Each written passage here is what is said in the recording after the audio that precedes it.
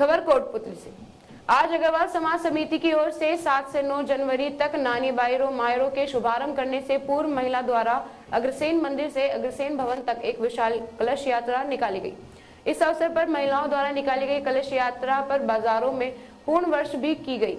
समिति के अध्यक्ष अशोक गोयल एवं महामंत्री राजचंद्र अग्रवाल ने बताया कि वृंदावन की कीर्ति किशोरी द्वारा संगीत में नानी बाई को मायरों की कथा अग्रसेन भवन से आयोजित की जाएगी।